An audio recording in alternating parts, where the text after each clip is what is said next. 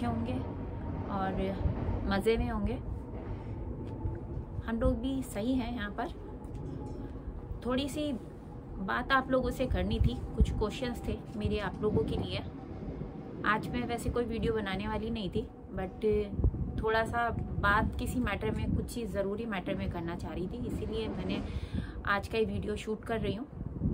और आप लोगों से एक गुजारिश है मेरी कि इस वीडियो को पूरा देखिए not just because of that कि मुझे अपना व्यू आर्ट्स बढ़ाना है या कुछ और करना है, इसलिए बिकॉज़ जो ये टॉपिक है वो बहुत ज़्यादा सेंसिटिव है।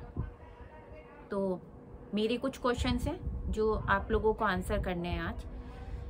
सबसे पहली तो यही चीज़ है कि आप मुझे इस चीज़ का जवाब दीजिए कि आपको जो घर में सर्विसेज़ मिलती हैं सर्विसेज़ मतलब बहन ने पानी दे दिया, माँ ने खाना दे दिया, पापा ने फ़ीस दे दी एवरीथिंग सब कुछ आपको करा कराया मिल जाता है। ये सारी लग्जरी छोड़कर आपको कोई कहे कि आपसे लग्जरी जो है वो आपसे वो ले ली जाएँगी और आपको कहीं और जाना है। तो आपके रिएक्शन कैसे होंगे? डेफिनेटली ऐसे होंगे हाँ। और होनी भी चाहिए ऐसे रिएक्शन क्योंकि कोई भी अपनी लग्जरी की लाइफ क्यों देगा भाई? क्यों छोड़ेगा? आज जो मुझे बात करनी है, वो बात करनी है मुझे यूक्रेन में फंसे हुए बच्चों की। बहुत पुराना टॉपिक लगेगा आप लोगों को, और शायद आप में से आधे से ज़्यादा तो इस टॉपिक को जानते भी नहीं होंगे भाई, यूक्रेन में हो क्या रहा है। सब अपनी ज़िंदगी में मस्त हैं, हम भी मस्त हैं, और शायद किसी को इतना फ़र्क नहीं पड़ता। बट पिछले दो तीन दिन से मुझे बहुत ज़्यादा अफसोस हो रहा है और बहुत गुस्सा भी आ रहा है। उस, और उसके पीछे रीज़न ये है कि वो बच्चे कहीं के भी हों इंडिया के हों या कहीं के भी हों, इंसान तो सबसे पहले इंसान होता है। वो बच्चे वहाँ पे फंसे हुए हैं वीडियोस में हेल्प मांग रहे हैं। उनके पेरेंट्स की हालत बहुत बुरी है। खुद मेरे भी रिलेटिव्स में से दो तीन लोगों के बच्चे वहाँ पर हैं। ऐसी सिचुएशन में भी हमारी सो कॉल्ड सोसाइटी हमारी सोसाइटी में कुछ लोग ऐसे हैं जो कि इस टाइमिंग का भी वो ध्यान नहीं रखते, बिल्कुल लिहाज नहीं करते कि क्या सिचुएशन है, उस सिचुएशन को अपने ऊपर नहीं रखते। क्या अगर हम पे ये सिचुएशन आएगी तो क्या होगा? बस ऐसे लोगों को टॉपिक मिलना चाहिए बात करने के लिए। सोशल मीडिया पे भी मैंने दो से तीन दिन पहले एक कन्वर्सेशन देखा। किसी मैडम का वो कन्वर्सेशन था। नाम तो मैं नहीं लेना चाहूँगी।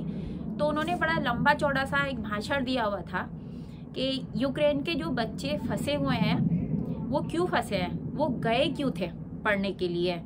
और विदेश जाने की तो बहुत ज़्यादा लगी हुई थी माँ बापों को भी भेजने की बहुत लगी हुई थी। तब तो विदेश ज़्यादा खूबसूरत लगता था, यूक्रेन ज़्यादा अच्छा लगता था, भारत में सौ कीड़े थे और ऐसे लोगों की हमारी कोई ज़िम्मेदारी नहीं बनती है। अब खुद गए हैं तो खुद निकल कर आए। ऐसी इतनी सारी फालतू और वाहियात बातें उसमें थी और लोग बात भी कर रहे थे, उसका आंसर भी दे रहे थे। बट ये बात निकली क्यों? ये बात इसलिए निकली क्योंकि हम लोग कभी भी अपने आप को एक दूसरे इंसान की सिचुएशन पे रख के देखते ही नहीं है।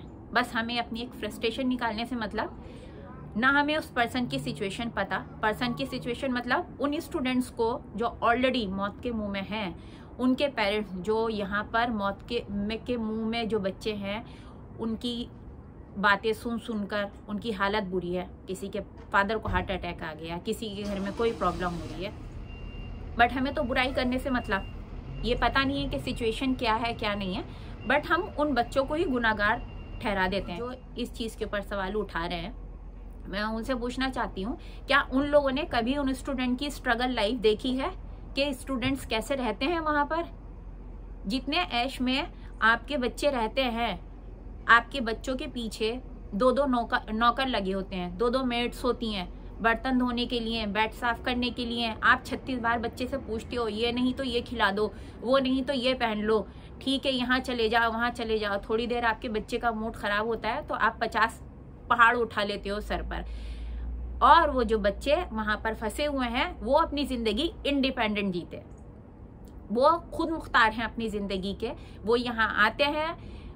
कुछ में से ज़्यादातर पेरेंट्स तो लोन लेकर अपने बच्चों को बाहर भेजते हैं। तो डेफिनेटली वो ऐश की ज़िंदगी तो यहाँ आकर जीते नहीं है। और हमारे जैसे लोग भी ऐश की ज़िंदगी जीते नहीं है, क्योंकि सब कुछ तो वहाँ छोड़ कर आए तो बात अगर स्टूडेंट की करें तो वो ऐश की ज़िंदगी वहाँ नहीं जीते। यहाँ आकर जो मैं खुद देखती हूँ, ये मैं कनाडा का बता रही हूँ और खाली मैं कनाडा में फ़र्स्ट टाइम नहीं आई। मैं इससे पहले भी जर्मनी में भी रह चुकी हूँ लंदन भी जा चुकी हूँ और जहाँ मेरा खुद का एक्सपीरियंस है, हर जगह बच्चे जहाँ पर भी अब्रॉड स्टडीज़ के लिए जाते हैं, वहाँ पर बच्चे पार्ट टाइम जॉब करते हैं। पार्ट टाइम जॉब करते हैं, अपना खाना खुद बनाते हैं, बुखार आता है तो कोई पूछने वाला नहीं होता, कोई खाना देने वाला नहीं होता, उनके पास कुछ नहीं होता, अपने कॉलेजेस के असाइनमेंट करने होते हैं और सबसे बड़ी चीज़ उनके ऊपर एक फिक्रात का एक रिस्पॉन्सिबिलिटी का टोकरा सर के ऊपर होता है कि भाई हमारे माँ बाप ने हमें यहाँ पर भेजा है तो हमें वो ज़िम्मेदारी निभानी है और उनके सपने पूरे करने तो अगर वो बच्चे बाहर आ गए तो उसमें ये कहाँ से बात आ गई कि वो बच्चे स्टडी के लिए बाहर चले गए? यूक्रेन में स्टडी का खर्चा 30 से 35 लाख है। पूरे उसका एमबीबीएस का। वहीं पर अगर हम बात करें तो हमारी कंट्री में एमबीबीएस का ये कॉलेज के एडमिशन और बाकी सेमिस्टर वाइज ये सारी चीज़ें चलती रहती हैं। नहीं है किसी का बजट और क्या इतनी सीट्स हैं वहाँ पर? तो कम से कम इस चीज़ को तो ध्यान में रखते हुए बोलिए, किसी की इस टाइमिंग पे इतनी सारी प्रॉब्लम्स हो गई हैं, उन स्टूडेंट्स के पेरेंट्स के साथ, उन स्टूडेंट्स को भी हमारी ज़रूरत है। ऐसे टाइमिंग पे भी हम ऐसी नॉनसेंस बातें कर रहे हैं। कहीं तो मूव एक फैमिली एब्रॉड में आकर रह रही है, या बच्चा स्टडी के लिए आया है तो इसका मतलब ये बिल्कुल नहीं है कि वो बच्चा अपनी कंट्री से प्यार नहीं करता। उसके पीछे के आप रीजंस देखिए, उसके पीछे के आप कॉजेज देखिए कि कौन से ऐसे रीजन है, कौन सी ऐसी मजबूरी है कि बच्चा, ये फैमिली अपने घर वालों को छोड़कर दूसरी जगह पर जा रहे हैं। तो बच्चे अगर पढ़ाई करने के लिए बाहर आए भी हैं तो वो बच्चे जाएँगे, वो वो वो डॉक्टर्स बन के इंडिया ही जाएँगे। वो इंडिया के जो अभी इतने ज़्यादा डॉक्टर्स की कमी है, वो उसको ही फुलफिल करेंगे। तो उसके पीछे के कुछ पॉजिटिव पॉइंट भी देख लीजिए। ये नेगेटिविटी मत फैलाइए। ये बहुत गलत बात है, ये सारी नेगेटिविटी फैलाना बहुत ज़्यादा। प्लीज़ अगर आप कुछ अच्छा नहीं कर सकते ना तो किसी के बारे में बुरा भी मत कीजिए।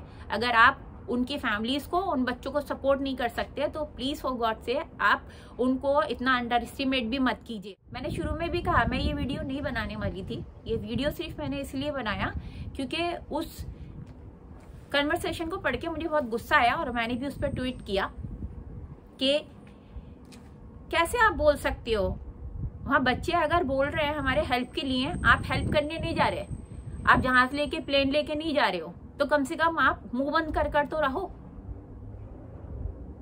कम से कम आप ये तो मत बोलो, तुम गए क्यों थे? कल को अगर आपका बच्चा किसी गड्ढे में गिर जाता है तो बच्चे को नहीं निकालेंगे आप? बच्चे को उस गड्ढे में अपने गिरे रहने देंगे? कि तुम्हें बोला था या तुमने देखा था गड्ढा है तो अब तुम्हारी सजा यह है कि तुम इस गड्ढे में गिरे रहो। यकीनन थोड़ा सा डांटने के बाद आप उसे निकालेंगे और उसको समझाएँगे। अगर वो बच्चे वहाँ गए थे तो किसी गलत काम के लिए नहीं गए थे। और वो बच्चे अगर बोल रहे हैं तो वो उनका हक बनता है बोलने का। वो हक आप, मैं कोई भी नहीं छीन सकता। चलिए, आप लोगों का ज़्यादा वक्त ना लेते हुए मैं वीडियो को यहीं वाइंड अप करती हूँ। और आप लोग कमेंट बॉक्स में बताइएगा कि आप लोग मेरी बात से इत्तेफाक रखते हैं, मेरी बात से सहमत हैं। ऐसा होना चाहिए या नहीं होना चाहिए? क्योंकि आज सिर्फ़ वो बच्चे हैं कल को आप लोगों की भी फैमिली बढ़ेगी। मेरी भी दो बच्चे हैं, आपके भी बहन भाई होंगे। हर किसी के पास कोई ना कोई ऐसा होगा जो बाहर जाएगा, ठीक है? तो क्या कल को आप में से किसी के बच्चे के साथ जब ऐसे कमेंट्स आएँगे तो आप लोग तब भी ऐसे ही चुप रहेंगे? आप लोग मुझे बताइएगा, मैं आप लोगों के कमेंट का इंतज़ार करूँगी और आप लोग के मैसेज का मैं आंसर करूँगी और हो सकेगा तो मैं लाइव आप लोगों को उसका आंसर करूँगी। तब तक के लिए चलिए बाय टेक केयर